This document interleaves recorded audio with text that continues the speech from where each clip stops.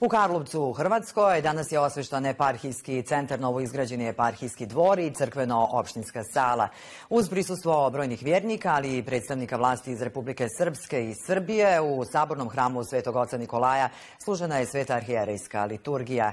Srbi povratnici u Karlovac kažu da obnova eparhijskog centra uljeva hrabrosti da je sigurnost za opstanak Srba na ovom prostoru. Prije tri godine Saša Rudan sa suprugom Ruskinjom Evgenijom vratio se u rodni Karlovac.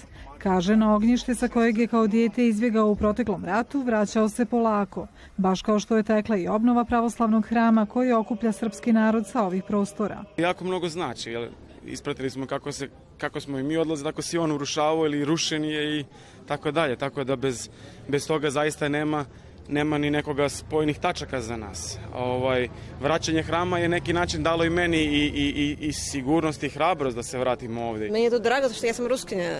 Došla sam zbog supruga iz Rusije i malo iz Engleske i a svaki put dođemo, nama je to bitno, zato što je ista vjera i a, bitno je da, da se ne osjećam kao u nego kao nešto svoje. U proteklom ratu Karlovačka pravoslavna crkva je srušena, a njenu obnovu podržali su i Srpska i Srbija, na prvom mjestu srpski član predsjedništva BiH Milorad Dodik.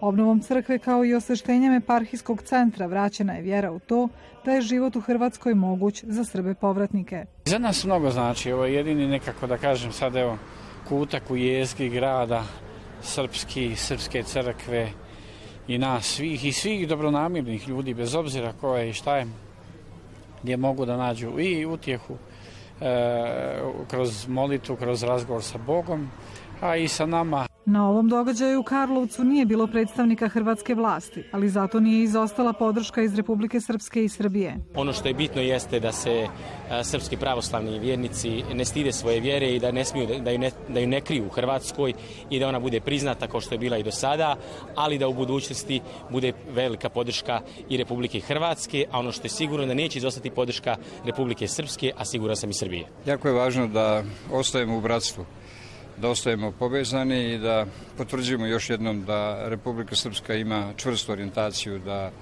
pomaže Srbima, povratnicima i u dijelove u kojima su prije rata živjeli na prostorima Bosne i Hercegovine, da pomažemo i podržavamo povratak Srba na prostore Hrvatske, a posebno da pomažemo obnovu duhovnog života. Mislim da je pomoć i Republike Srpske i Republike Srbije i pre svega velikog broja donatora dovoljan pokazatelj da želimo da tamo da smo kroz istoriju ostavljali trag zaista i ostane.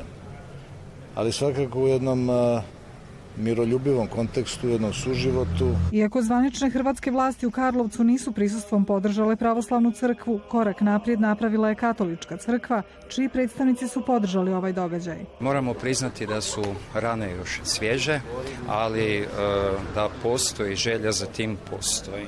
Evo, to je ta jedna dobra volja koja nas nekako gura čovjeku u susret Od prijeratnog broja stanovnika u Karlovcu su Srbi činili više od 50%. Međutim, nakon ratnih dešavanja ovdje se vratilo oko 10% srpskog stanovništva. Od kada je prije pet godina obnovljen pravoslavni hram u Karlovcu, nekoliko puta bio je meta vandala. Ovdje je nama na crkva isto bila također oštećena, ovdje bili su neki uh, ispisani neki grafiti.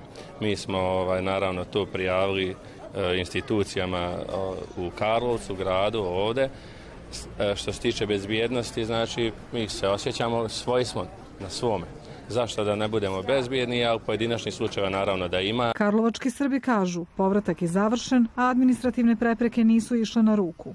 Ipak ističu, važno je promovisati međusobno razumijevanje, koje je obaveza građana svih konfesija, ali i političara prije svega.